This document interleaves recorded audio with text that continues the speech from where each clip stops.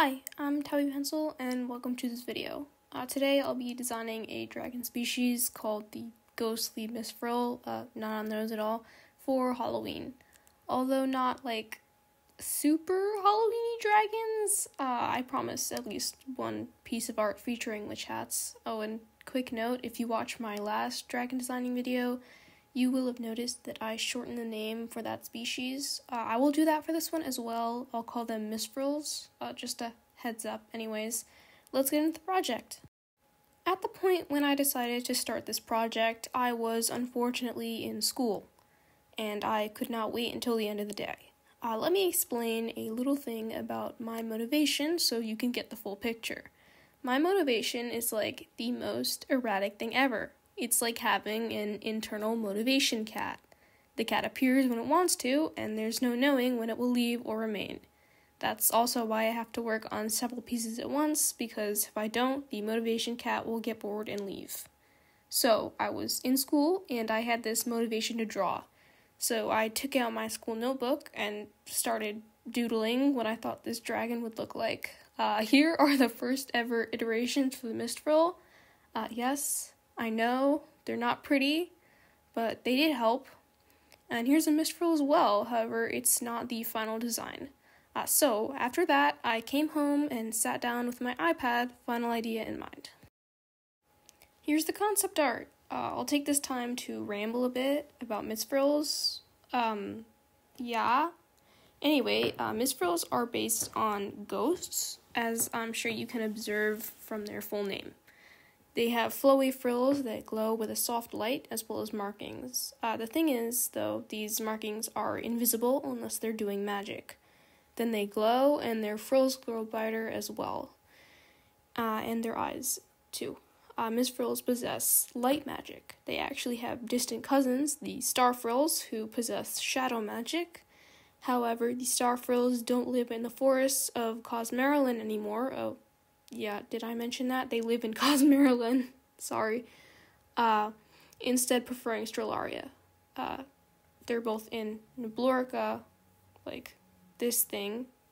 In case you haven't watched my last dragon design video, um, I will possibly explain lore stuff that goes with that in the future. Uh, so anyway, Mistfrills. Uh, the way their magic works, it's either you have it or you don't. There are varying levels of talent, however, it doesn't completely depend on the parents. There's a lot of gene stuff, I guess, involved, and sometimes magic can skip as much as four or five generations before reappearing. Most Mistfrills have magic, I'd say, 70%. Uh, and, um, because I am extremely self indulgent, they wear witch hats because, um, because they do anyway. Uh, they like the water and they live in like dark forests and only come out at night.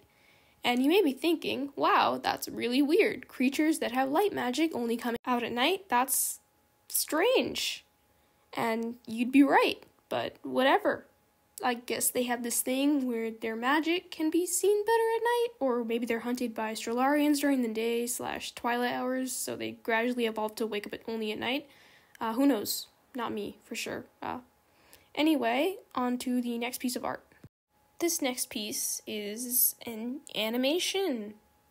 Yeah, it's a really bad animation though. It mostly just demonstrates how they activate their magic. Uh, not even completely correctly though, as you may have noticed in the concept art as well. Uh, the frozen markings don't even glow properly. Like, I really do not know what I was thinking when I made this.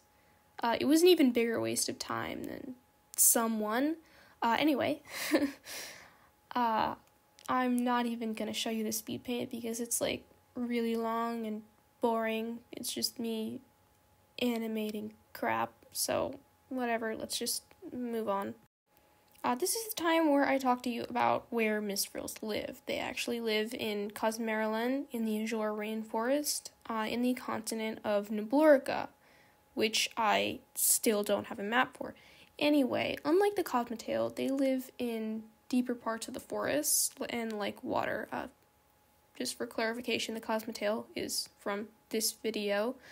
I, I'm sorry I keep mentioning it, but it kind of just need, need context, I guess. Well, anyway, uh, they can breathe underwater, and thus most live like near lakes or swamps.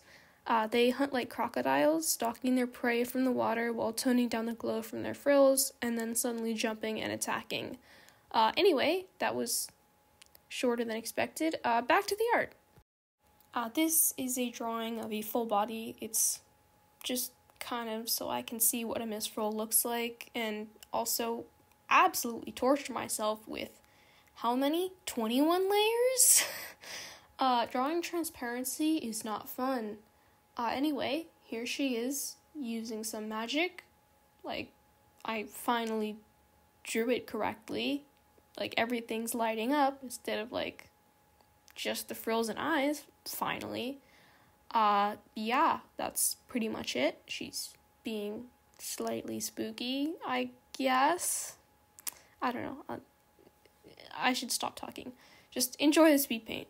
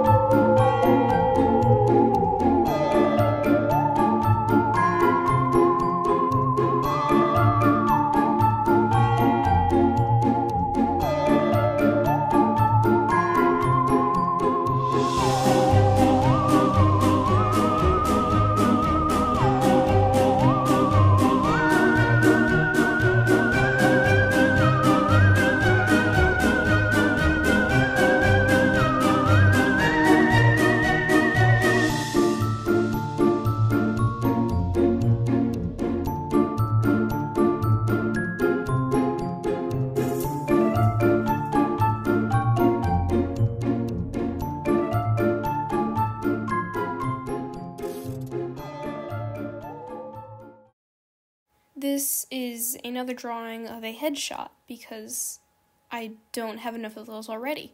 Uh, anyway, for funsies, I made this sort of original character, I suppose. Uh, anyway, here's a scrap of backstory for you. Uh, Adrelle left Cosmeraland when she was 15. Uh, she maneuvered her way into Shrilaria and basically was a little brat and was too picky for any job she might have had.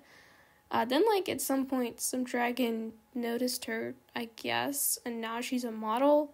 But, like, in her desperation, she signed a contract that she should not have, and now she is stuck even though she hates her life. Yeah, that that's fun. Um, I, I, I don't, I really don't know. Like, whatever. She's. I really just wanted to draw, like, a sad dragon, and then just, like, my mind went crazy with the backstory stuff. Uh, anyway, just enjoy the rest of this speed paint.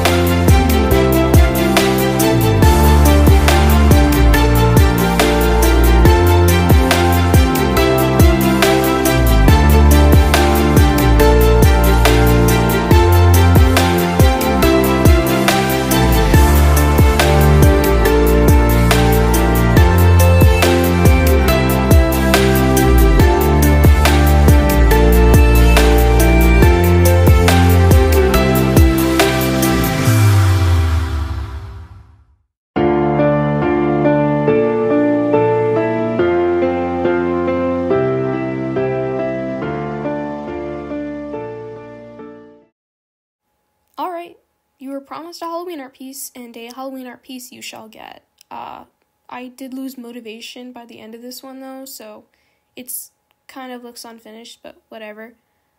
Uh, yeah. Here are some cute Mistfrills in witch hats. I like to think that their witch hats are like something that's unique to them since they don't have horns. Uh, the dragons of this world just did not think to invent hats like that since they had horns.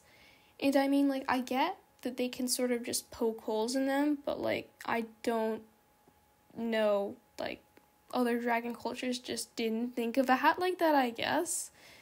Uh, so there's that. Just don't look too closely at Tabby's witch hat. You may find something a little strange. Uh, anyway, just enjoy the rest of the speed paint. Don't think about Tabby's witch hat.